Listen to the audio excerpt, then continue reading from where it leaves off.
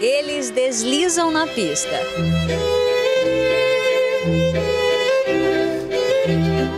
As acrobacias exigem técnica e muito equilíbrio, mas os competidores tiram de letra e encantam o público.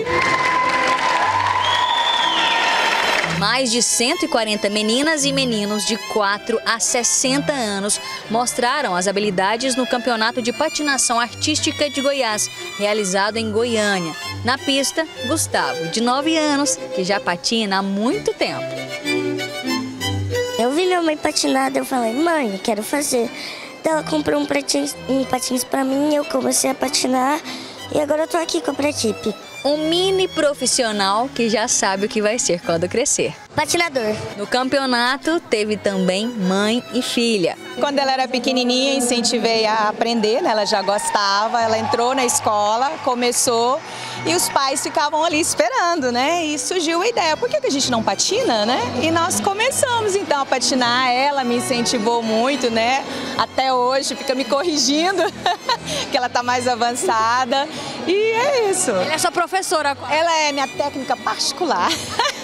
É um orgulho, igual ela tava fazendo, eu tava só sorrindo quando ela apresentava. É a coisa mais linda ver minha mãe patinando, porque uma dá suporte uma outra. Então, tipo assim, é um orgulho, não tem nem como descrever outra palavra. A patinação artística de rodas profissional existe em 12 estados brasileiros. Aqui em Goiás, esse esporte é recente. Essa competição é um campeonato regional, é o primeiro campeonato da nossa Federação de Patinação Artística e ele envolve a modalidade livre, solo dance, figuras, circuito e dança. Para a Sandra, ex-patinadora, treinadora e já com mais de 40 anos de experiência nessa área, Goiás é um berço de muitos talentos. As meninas aqui são muito artistas e elas têm muita raça e sem contar que elas têm uma estrutura física muito boa, muito boa. Elas têm uma força muscular muito boa e com certeza vão tirar muitas campeãs aqui de Goiás. Eu estou muito feliz. A patinação artística de rodas é muito semelhante à patinação artística com gelo.